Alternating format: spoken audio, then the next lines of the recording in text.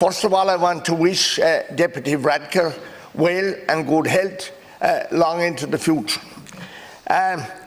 uh, I have to say that in the recent re referendum and canvassing uh, generally for, for the, our three uh, local election candidates in Kerry,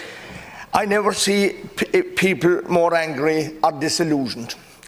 Farmers are being, they see themselves being vilified and targeted here every day